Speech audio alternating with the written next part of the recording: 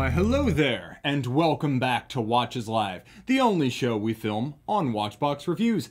Thank you to everyone joining us from around the world. I'm going to quickly cut and paste into our live chat box the link to our newest raffle. We are giving away a free Seiko Astron GPS Solar, a $1,600 luxury watch value. I can see our friends joining us from far flung.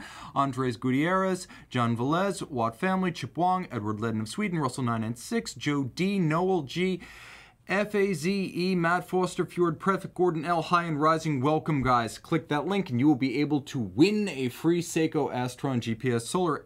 Welcome, Aaron from Brisbane, Australia. Let's jump straight into the money shot. You saw, you saw the logo on this video. You clicked I deliver. This is the 2018 Omega Seamaster Railmaster Denim Edition. Now, you've seen the standard Railmaster, and you might remember the Trilogy model from last year. This is by far the most Nomos-like watch Omega has ever created. It gets a lot done with very little. The case is simple, all of satin finish, 46.7 millimeters lug to lug with pivoted end links. Anyone can wear this watch. 40 millimeters in diameter. The dial is a complex combination of variable width striations. And if you look closely, you can see it has elements of metallic blue, brown, violet, even a little bit of green and bronze in there. It has a complicated finish that's anything but the convenient cloying blue used by too many brands these days, and it has a gorgeous railroad style minutes and seconds track, subdued printing. It has a little bit of a gray luminova coloration that glows blue at night with oversized indices, a gorgeous crosshair dial layout, and quarter Arabics that take you right back to the 1957 Railmaster. This is a special watch and probably one of the most broadly discussed new watches of the year. I love the fact that one of the most anticipated new watches is also one of the most accessible. This retails for 5000 This one's selling pre-owned for less than that. 55-hour power reserve, amagnetic, and 150 meters water resistant. Even the bracelet feels like it punches above its weight. Screws fixing, removable links, twin trigger, double deploy in action, very solid on the wrist, and big gaps between links to vent the wrist. This is about as comfy and versatile as a watch gets. It's your dress watch, it's your sports watch, it's your weekend watch and your weekday watch. It might even be the watch you purchase on the basis that you can justify it to your wife along the lines of, well, you'll be able to wear it too, honey. Yeah, that's what you say. That won't be the reality, but it's a great line. Okay, now one that's only suitable for male wrists. This is the mighty Jaeger-LeCoultre Master Compressor Diving Chronograph GMT Navy SEALs Limited Edition, part of a 2009 series. The watch is both a 65-hour power reserve vertical clutch column wheel chronograph, an extreme diver, and a GMT. It's all of these things. I guess I shouldn't say both because it's more than two things. It's everything all at once and the most desirable variant on the full vulcanized rubber strap with every individual link removable four triggers, a double deployment clasp, and each side of the clasp features a Rolex EasyLink style incremental adjustment system so you can actually make micro sizing on the fly, the equivalent of one half link by pulling out that micro adjustment inside these mini clasps. Now you turn it all over and this is the only place you're going to see the Navy SEALs branding on this one. You can see the warfare device of US Navy SEALs on the case back. I thought the partnership such as it was was a bit much and somewhat out of step with JLC's image. I have nothing against the watch itself, however. 46 millimeters in grade 5 titanium. I don't don't think the Navy SEALs thing made sense for JLC, but I do think spirit of the old Polaris, the old deep sea diving alarm, lives on in this watch. This isn't trying to be a retro watch, and it isn't trying to be a petite watch. It's big, it's bold, it's hugely visible, and because of the titanium, it's easily wearable on a small wrist. This is the aggressive modern sports watch that is missing from JLC's current catalog. And you can see those compressor crowns a half turn for the winding crown, a quarter turn for the chronograph pushers, and you get 1,000 meter water resistance. Very impressive. Ceramic bezel insert, and one of the chunkiest and most pleasing bezel feels you're going to find. Let, okay, let me see. Let me see if I can get you up close and personal.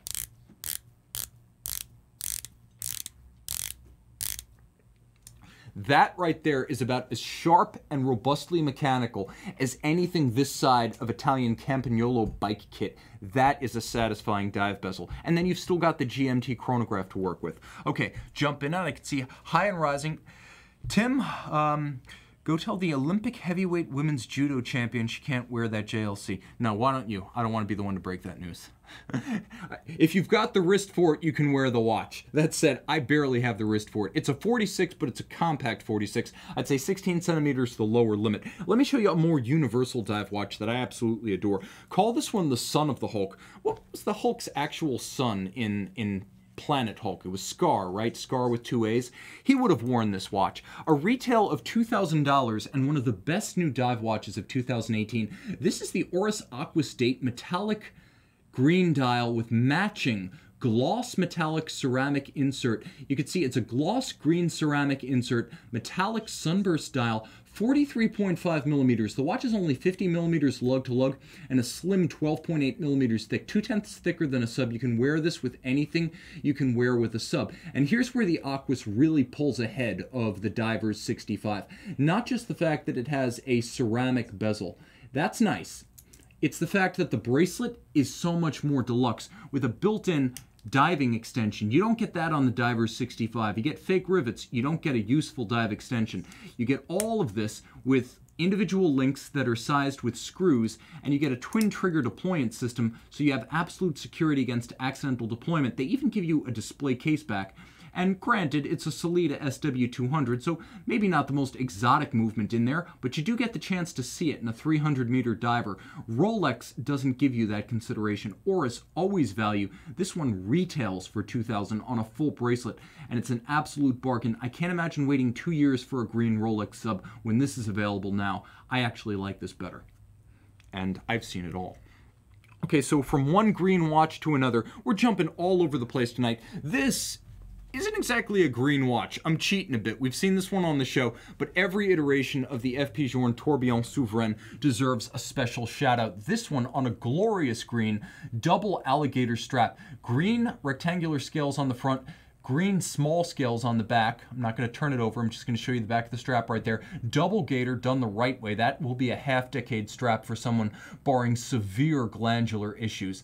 Now, the tourbillon is the highlight of this watch. Of course, you're looking at a tourbillon cantilevered out on a single-sided half bridge with a filigree style polished tourbillon cage, and you can see beneath it the 18 karat red gold base plate of the movement. You'll note that the seconds hand is a deadbeat seconds hand. So let's count all the features here power reserve indicator, tourbillon, deadbeat seconds display, turn it all over, and you can see why this watch was a breakthrough when the first version of it bowed in 1999. It combines a remontoire d'égalité, a constant force device that meters a certain quantized and constant amount of force to the escapement every second. So the remontoire system, which ensures the escapement always gets the same amount of force from maximum wind to minimum wind of the mainspring barrel, is also responsible for the deadbeat second display on the dial. Now when it runs below 12 hours of power reserve, it disengages the deadbeat system. It becomes a sweep second. So FP Journe allows the watch to run continuously to exhaustion through those final 12 hours. It keeps best time when you wind it up completely. This is a gorgeous watch, all in platinum on the outside, rose gold on the inside, the bezel for the dial, that is the actual apertures that frames these displays, it is polished white gold and this is as good as it gets. Now this one's 40 millimeters. I'm going to show it to you on my wrist. This is a great watch for all-around use because it's slim. But at the same time, as a white metal watch, it has that versatility that you could wear it with casual attire. Granted, it's a giant open dial tourbillon, but it's not quite as dressy as these things tend to be. And it's worlds removed from the likes of Breguet or Patek Philippe. This one's designed to be worn all the time. FP Journe designs them, engineers them, and has them built that way. Okay. I can see right here, uh, we have Edward Ledden saying that tourbillon puts even Richard Mille to big shame. Richard Mille does not have a constant force tourbillon right now, so totally different horses for different courses, but between generic Richard Mille and that particular tourbillon, I am all over that FP Journe. Now let's jump across the border to Saxony in Germany, and let's take a look at fine finishing of an entirely different description. In 2007, the PanoMatic XL collection bowed, and this PanoMatic Chrono XL was one of the flagships, caliber 9501. It's a flyback chronograph and a weird one. It has an inverted chronograph control system, so the flyback, you, uh, pardon me, I'm doing this upside down. The flyback is actually located at 2 o'clock where you'd conventionally see the start-stop. Now the system, I need to wind it up so it works properly. The system is propelled by a caliber 95-1 manual wind Glashütte Original because they use the hard G in Germany. Hand finished caliber of extraordinary description. So you could see everything on the case back. Again, this thing confuses me constantly because it's upside down, but you can see the interaction of the column wheel and the levers of the chronograph mechanism. You could see the column wheel, the lateral clutch, which moves into and out of contact with the chronograph center wheel, and you can see where the clutch is being driven off the fourth wheel of the going train. So that's what's actually happening here as the system moves away from and into contact with that center wheel. You can also see that every screw is blued, every bridge decorated with Glashütte stripes. You can see straight grained brushing across all of the levers as well as the clutch of the chronograph system. And note this, the chronograph lateral clutch is fully jeweled. That is something you will see only on chronographs of the absolute highest grade. A fully jeweled lateral yoke is the domain of the Pateks, the Langes, and yes, the GOs of the world. Now let me show you the dial side of this watch because it's rather spectacular. The chronograph functions have been separated from the primary dial, and note that the primary dial is loomed. Now the chronograph functions feature a oversized central superimposed floating seconds ring and then chronograph minutes adjacent to that on the side. So the system featuring that flyback action and its inverted chronograph triggers works as such. You can actually stop it and you can reset it conventionally but it is a very impressive 42.5 millimeter rose gold watch. A bit much for me in terms of the attention it draws. It's just a little bit too much gold for me. But if you're considering a gold Hublot, Audemars Piguet, Rolex, anything in colored metal, you need to consider the rarity of these, how few of them are made. GO's only making 15,000 to 20,000 watches a year, at the peak of its production in the 2000s. Today, that's more like 10 to 12,000 watches a year, and very few are these high-end flagship complications. It's absolutely red hot. This is a special watch, and they do things differently than Lange, and I'm going to prove that because I have a Lange right here. This is the Grand Lange 1, the post-2011 latest version with the 40.9 millimeter case. These are very special. Uh, since the 2011 model year, there's been a properly sized movement for the Grand Lange, so you have the larger case size but with the same dial layout that the Lange 1 made famous and iconic back in 1994. This is a great example of value in watches because these sell for $10,000 less than list, and, and that's the dearest example beautifully made, and you can see on the case back, I may as well wind this one up. Twin mainspring barrel, three-day power reserve, entirely hand finished with a freehand engraved half bridge for the balance. Okay, now that it's underway, let's take a closer look at what you're getting for your money. Finishing in Glashütte style. This is a style that is based on old Saxon pocket watches, but it's actually a modern invention of Lange in the wristwatch format. So you have the giant three-quarter style bridge with strategically placed access ports for servicing. You have all of the jewels from the twin mainspring barrels, which you can see in their chaton at top, through the drivetrain set in chaton. The chaton are actually gold cradles for the jewels. They're fixed by heat blued screws. It's a throwback to the pocket watch era when machining of bridges was more difficult and tolerances weren't as tight. It was easier to put the jewels in specially manufactured chaton that could then be removed for easier servicing. Now you'll also note that there is a freehand engraved half bridge or balance cock, and no two of these are exactly the same. Every Lange features this structure, at least one freehand engraved that is individual component. No two are ever exactly alike because this is done without a lathe. It's done with a chisel and it's done with a hammer. You can also see that there's traditional anglage in the Swiss fashion. As I move the watch through the light, you'll note the edges of these access ports are flashing bright and those beads of light moving around their edge show you where the mirrored sides are. There's also an even and tightly spaced perlage engine turning on the base plate. Gorgeous. You'll note that there is some black polish on the cap of the half bridge for the escape wheel, as well as on the swan's neck fine adjustment regulator, which these days is actually used for adjusting beat rate. A beautiful watch, and how useful is this? It's loomed. This could be your all-arounder. Gorgeous stuff. White gold. And at 40.9 millimeters, the perfect size. But let's say you want to style a bit more with your Lange, and you want something that's farther off the beaten path even than a Grand Lange. You want a Grand Lange with a complication, well then you want the Grand Lange moon phase. This is a stunning three-dimensional moon phase. As you can see, the disc itself rides atop a base featuring the cosmos inset on the center dial. You can see the primary dial, justified to what would conventionally be the 9 o'clock side of the watch, features a sensational solid gold moon. It's not a metal deposit. It is a solid gold disc that is then colored to achieve the image of the night sky. You'll also note that the classical Lange 1 layout is present and correct. Oversized date with white gold frame, the three-day power reserve indicator, and a sub-seconds that just kisses the outer circumference of the minutes track. All applied indices and stylized Roman numerals, quarter Roman numerals. Turn it all over, more fun. Every Lange is absolute watch porn on its caseback. I don't necessarily love that term and I don't use it universally, but it just rolls off the tongue when you're showing a piece like this. Absolutely sensational. With Lange, I don't want to say you get what you pay for, you get more than what you pay for because the discounts and pre-owned reduction from MSRP with these, it's not like buying a Journe, it's not like buying a Rolex. Unfortunately, these don't quite command what they're worth. That's to your advantage as a collector. Now, from Germany to another non traditional watchmaking country that does it very well, we're going to Japan, and what might be my favorite spring drive. This is a very special piece.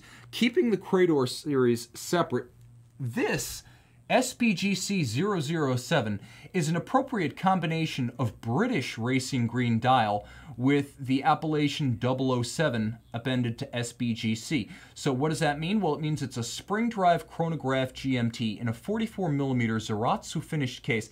Now that sounds like a lot of marketing speak, Zaratsu polish. They talk about it being something that is traditional, artisanal, executed by hand. It's not correctly compared to the polishing of Japanese swords. That's going over the top. What it is, however, is a distinctly Seiko method of finishing cases by hand. It is absolutely artisanal. It is absolutely done by hand, by eye, by feel, and by experience. And on that count, the optically smooth finish that you get on the sides of these cases, done against a rotating tin plate, again, just by hand pressure and eye, produces cases that are qualitatively better than what you'll get from the likes of Rolex, Omega, and Breitling. Those are industrially perfect. This one is millimetrically perfect from side to side. You won't find differing measurements about the bevels or the polished case flanks. What you will find is more human warmth and evidence of the artisan's hand than you'll find on a Swiss product of equivalent price. Now, if you look at the dial, you'll see more of your money at work. Grand Seiko dial furniture is some of the best in the business. Faceted, alternately polished and grained Dauphine hands at center. You'll note that each individual index is hand placed. It's been faceted and polished using diamond tipped tools by hand. There are artisans who do nothing but finish these little pieces micrometrically identical, one after the other, and that's their job. You're benefiting from a broad range of talents when you buy one of these. Spring drive movement built by a watchmaker, another artisan involved in the process, 50 jewels three-day power reserve, and you can see that unidirectional governing wheel moving continuously in one direction. What you can't quite see, because I'm going to turn the watch over and give you full view, is that these are all column wheel vertical clutch mechanical chronographs attached to the spring drive caliber. So you get a traditional vertical clutch column wheel chronograph, and you can see the action right there, just like a Swiss mechanical movement, but then you get the uniquely Grand Seiko spring drive, which gives you a watchmaker-made movement with no motors, no batteries, no capacitors, mechanical watch soul with quartz watch precision of plus or minus 15 seconds per month. And now you can really see that matte British Racing Green dial. This watch is impossible to find. That might be my favorite spring drive right there. Okay. Okay, now, boom. Guys, let's talk about something that's a bit more accessible, but just as Seiko. And dare I say, actually straddles the fence between Grand Seiko and Seiko. This is almost unfair, but it's the Seiko Prospex High Beat Diver SLA 25. It's a tribute to the reference 6159 7001 of 1968, which was the first ever automatic winding high beat dive watch. This recapitulates the case form as well as the strap design, but it's basically a Grand Seiko masquerading as a Seiko. It uses caliber 8L55, 10 beats per second, 36,000 vibrations per hour, 55 hour power reserve, watchmaker assembled and regulated. Now this is where things get really cool because it also features the Zaratsu case finish that you get on a Grand Seiko. It's the exact same thing. It's done by the same people. This is actually made in the Shizukuishi watch studio where the Grand Seiko pieces are made, and the finishing of the case is that same artisanal touch that you get with a Grand Seiko. Now, check this out. Where is the case back? The whole watch is a monoblock, so it's part of the dying family of front loaders. It's a rare breed to find a watch made today, like dive watches were made sometimes in the 60s and 70s. The original 6159 7001 was made this way. But because it is a monoblock case, everything goes in the dial side. The movement goes in, the dial goes in, everything goes in, and then the bezel, the case top, and the crystal all cap it. It is a very sophisticated system that allows the watch to be impervious to helium intrusion. You'll see HE gas written on the back. Well, what does that mean? Because it doesn't have a helium escape valve. It means that due to sophisticated case construction and gaskets, this watch doesn't need a helium escape valve. Grand Seiko finishing on the case exterior, Grand Seiko movement on the case interior, 1500 piece limited series in stainless steel, 44 millimeters. This one wears like a treat. It even has a vintage inspired narrow lug spacing and a vintage inspired pyramid pattern silicone tropic style strap that is an absolute treat on the wrist. Over engineered, believe it. The strap minder itself features both polished and satin finish and is made of metal. This is a gorgeous watch, but here's my favorite feature not just the monoblock case, but a stoplight style seconds hand. This watch has it all. That's a vintage element that you'll see on some vintage Grand Seiko divers and also the Jaeger 20 ATM Parisian built Jaeger LeCoultre diver from the 60s. Okay, from thick and chunky to absolutely razor slim. I love what Bulgari's doing these days, guys. We have to talk about the Octo Finissimo Revolution limited edition. Now, Revolution magazine, along with Watch Time, probably the only two magazines still worth reading in the watch space. What hath Revolution wrought? Well, let's take a look. Wei Koh of Revolution worked directly with Bulgari to create this 50-piece DLC grade 5 titanium limited edition of 50 pieces. Now you can see it's only 5.35 millimeters thick. The movement itself is both extraordinarily broad at 36.6 millimeters and extraordinarily thin at 2.23 millimeters. 65 hour power reserve, you'll note the caseback power reserve indicator features the Revolution masthead and the Revolution Red Star. That's the only co-branding on the watch. All of the finish, those Cote de Genève, the polished beveled anglage of the edge of each bridge, the black polished screws, this is all done by hand in Le Sentier, Switzerland, within a stone's throw of Blancpain, Breguet, Audemars Piguet, and Jaeger LeCoultre by the old Gerald Genta Daniel Roth works. They are manufactured Bulgari today. You want more? You got it. Skeletonized matte finish grade 5 titanium dial. And you can see underneath the skeletonized indices, the stencil over the base, the perlage finished base plate of the BVL 128 movement. 50 of these made very fine, gorgeous pieces.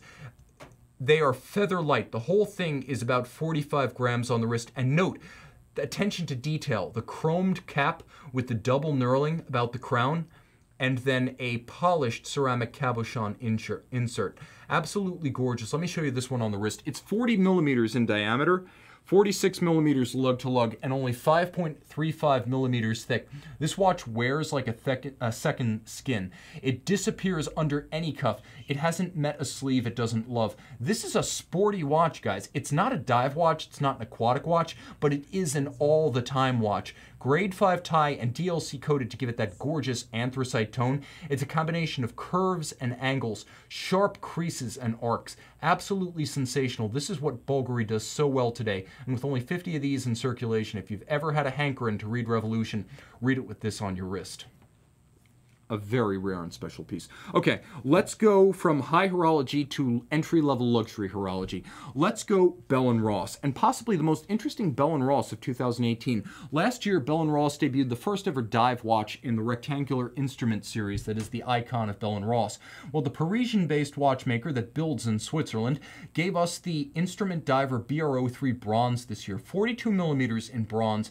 They've decided to use a highly resistant bronze alloy that patinas slowly. You can see the case back is actually beautifully polished and stylized with an antique diving helmet and a herringbone motif underneath. 90, 999 pieces. It is a limited series.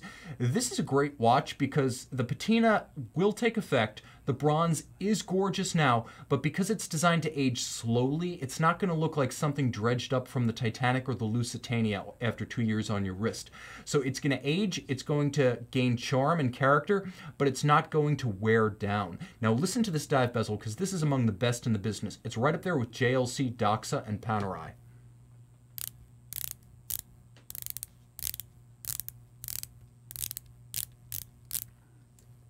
Big, chunky, and satisfying. I don't know if this strap is necessarily for you, but it does come with an accessory strap and the tools to swap out. Take a look at this thing on the blood orange alligator leather strap that's fitted. 42 millimeters on my 16 centimeter circumference wrist. It's a gorgeous piece. The BR03 case is 42. The old BR01 is 46. This is a better size for most folks. And here's the key for me. 12.7 millimeters thick. It's basically a Rolex Submariner in that respect. Easy to wear, highly stylish and Bell & Ross probably the best value for money in, in luxury horology. Not a handmade watch, but a luxury watch.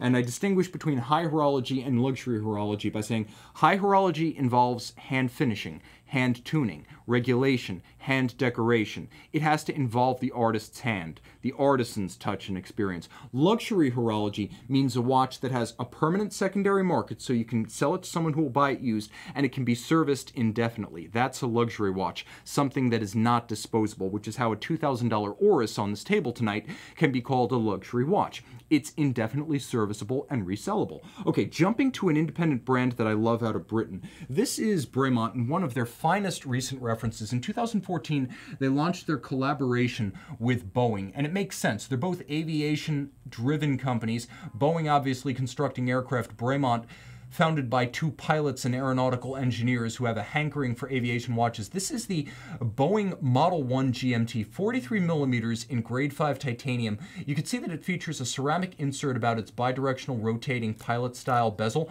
and then there's a second time zone in 24 hour format. Now, all the Bremont men's watches are chronometers, and you'll note on the case back two things that I find intriguing. First, you can see the movement chronometer grade with a chronometer grade balance. You know that because it has the larger splayed spokes. And then you can see that there are three elastomers that are suspending the movement inside the case. This is exactly like what you'll find on Richard Mille, Jaeger-LeCoultre, and other brands that advertise highly shock resistant watches. Suspension of the movement from the case itself. The movement is separated from the case and the intermediary between the two, the connection, these three elastomers. So the watch has blowout protection, so the crystal can't be discharged if you're in an explosively decompressing cockpit environment. You'll probably never need that. It's 100 meters water resistant. That's highly practical. And it's highly shock resistant, so you're not going to damage the staffs of the escape wheel or the balance absolutely gorgeous and the price is right. This is a watch that retails for 4400 sells for about two-thirds of that pre-owned. It's a gorgeous piece because it's all subdued. So many Bremont watches are big and polished. This one is beautiful because less is more. With only a few polished accents, it's an everyday watch for a human-sized wrist. And the reason for that is that Bremont uses this case form that physically separates the lugs from the case band.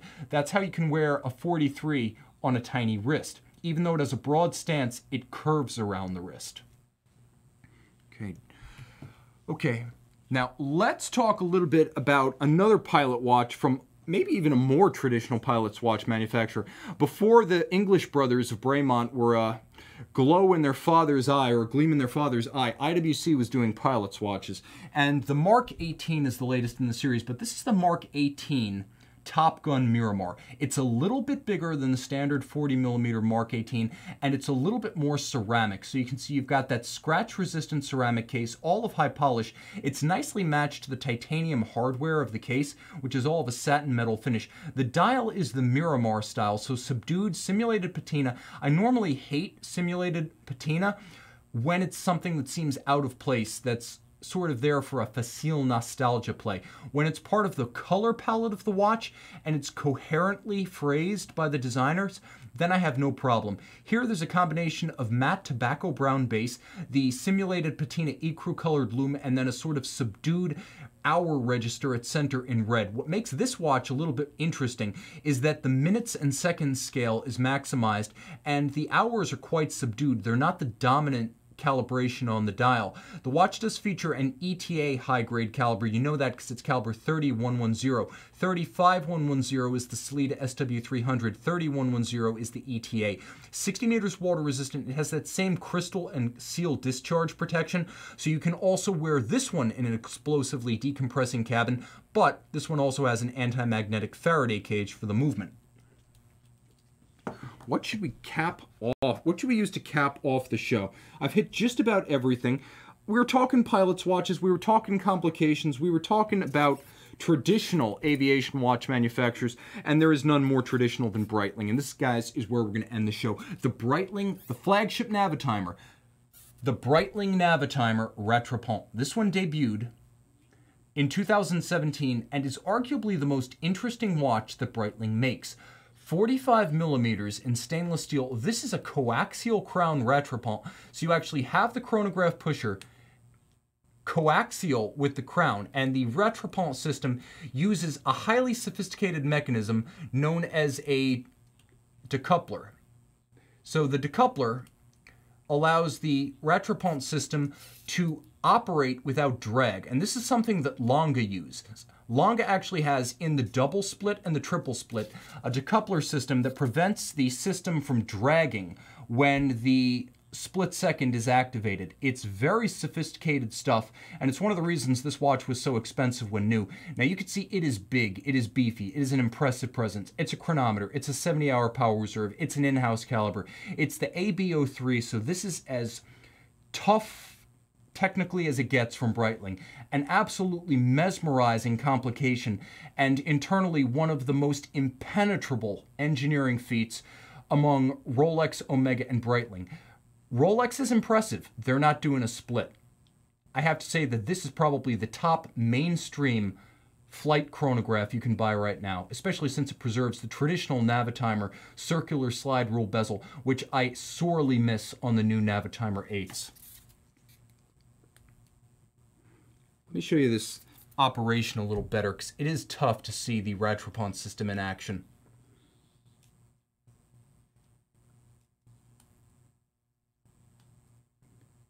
You can see the second hand just underneath. There we go. Breitling Navitimer Rattrapante.